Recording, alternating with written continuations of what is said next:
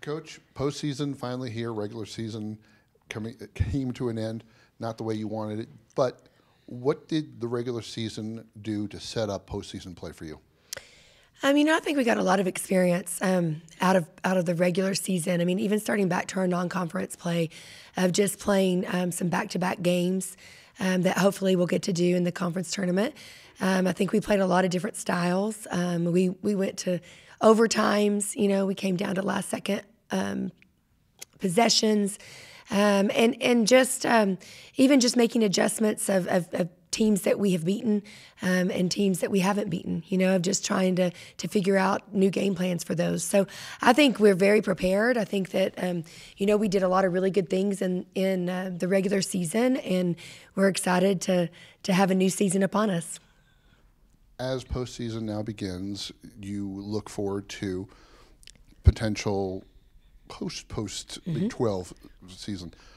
How does that make you feel that you've got you've you started in Greece, you set it up, and everything is is proceeding and going along as you per, as you planned.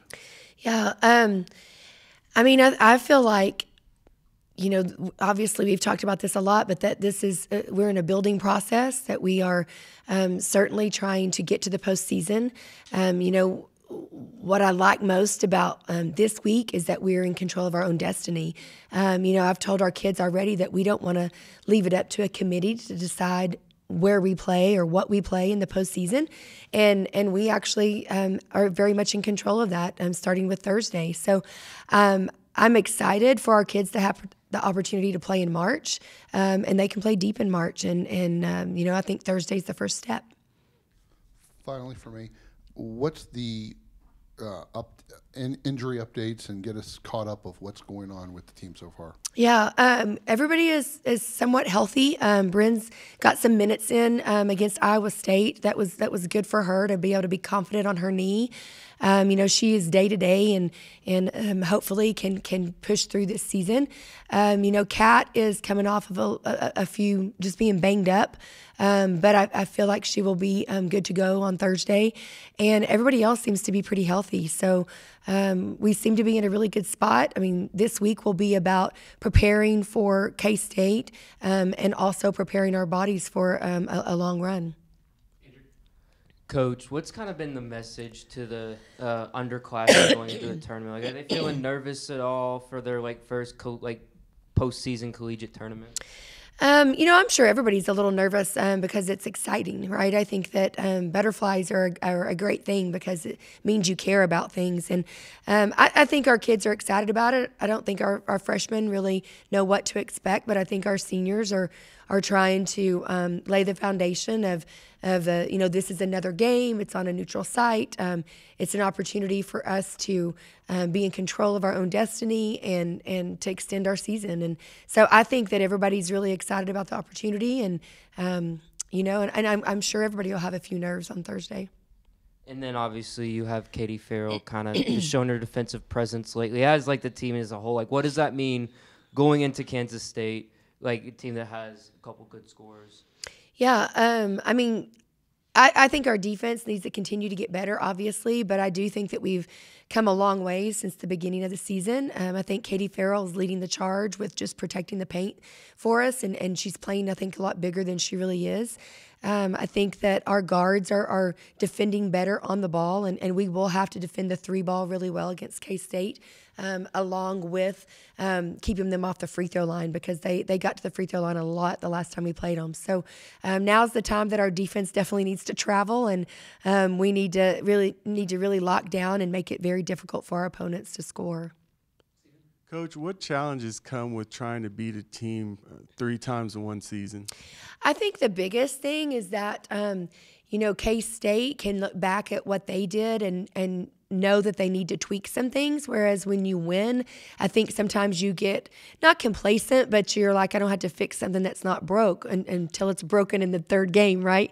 So I, I, feel like we have to just really scour the last couple of games that K State has played and to see what they are doing differently um, because they're playing really well. I mean, they they scored a lot of points against OU. They came back from a large deficit. Um, you know, they beat Iowa State, um, and they've they've got some good wins so, so we've got to go back and just kind of look at their lineups and see if they're playing different people, um, if they're guarding differently, and if they're attacking things differently offensively. But, um, but I do think that's the biggest challenge is is just making sure that as a staff we really leave no stone unturned of, of what are they doing differently that, that we need to prepare for. And you've talked in the past about just Bailey and her, the winning she did in, in high school. How can that sort of postseason success and just confidence translate uh, into her first collegiate experience. Yeah, I think she knows better than a lot of kids on our team just about um, what postseason is like. I mean, it's do or die. It's you got to be playing your best basketball, and you've got to leave it all out on the court.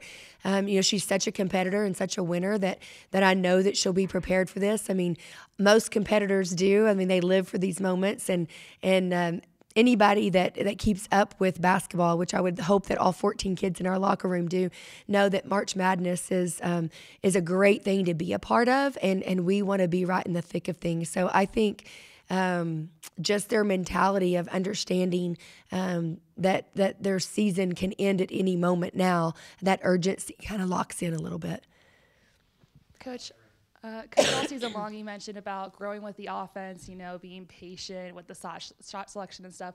Just curious from now, from November to now, how have you guys grown in your offensive messages and schemes? Yeah, I think that our offensive efficiency has been t- lots, lots better. Um, and I think you've heard people talk about that um, our offensive efficiency is um, is is at the top of, of the conference really. And and I think you know I think we do hold on to the ball a little bit longer than most people in our conference but it's because of the makeup of our team right now you know. I think that we've got some veterans that can really score the ball and we've got some young kids that can as well. But at the same time um, we've got to take good shots and a lot of that is is for our defensive end, you know, for our transition defense to be able to set it up, um, and that we're not surprised by shots that we're taking. But I think when you see us really execute and show great patience and and wait for. Um, wait for a great shot compared to a good shot, um, our our success is so much better at the end of the game.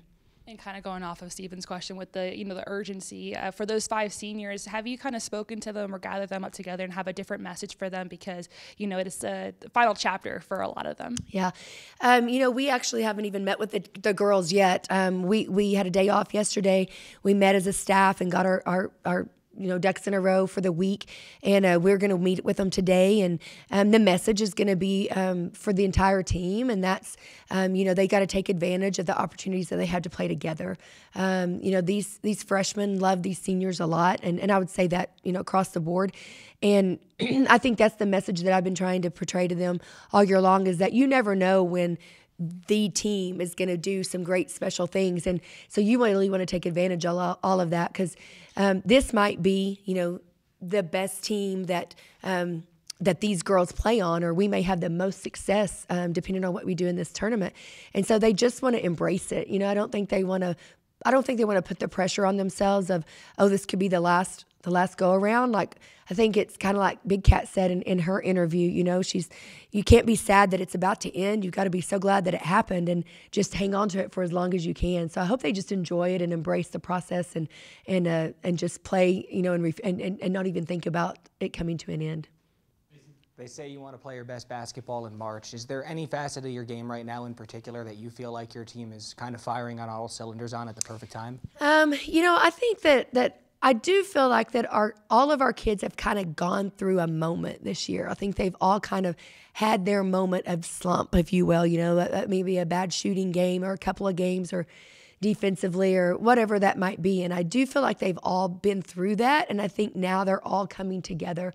Um, I really think their their unity in the locker room has been fantastic, and and even just the some of the kids that haven't gotten to play um, a lot in the past that are playing more minutes now. You know the the sagas and and Ashley Chevalier and um, you know some of those kids. They're really understanding their value and what they what their roles bring to this team, and um, sometimes it's they need to be utilized for a lot of minutes and sometimes it's it's you know their minutes are, are fewer but i think they really are embracing the fact that it's it's it's a process and it's it's they're trusting um, the game plan they're trusting um, their teammates and and they're just anxious to help whenever they can. So um, I don't know that there's one particular spot, except that I do think that our our unity and our, our roles are are really been defined as of late.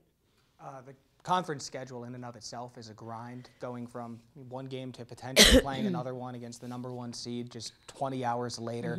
What's it like preparing for round one to round two, and especially maybe for freshmen who are, like you've talked about a lot, kind of going through that grind of getting ready for March basketball? Yeah, I uh, the, the the good thing about playing in the conference tournament is that we've played all of these teams twice, so the prep for each game will be very much um, of a you know going back and and, and reviewing, um, just reminding them lots of film. I mean, I mean, you can't spend a lot of time on the court, obviously, when you you play somebody less than 20 hours later. Um, part of the reason why we put together the schedule that we did, where we played, you know, back to back games at, the WNIT and back to back games at, at Las Vegas, that our kids figured out how to prep like that in a short turnaround. And those were against teams that they knew nothing about. So I do think that our kids are prepared for that and um, that you know, this is actually the best time to to play basketball because, you know, from a player's point of view, it's just practice, right? So they're ready to play games, you know. So it's just like games, games, games, games. So so let's get on a roll and play as many games as we can here back to back. Does it kind of help even too some of the freshmen who are maybe a little bit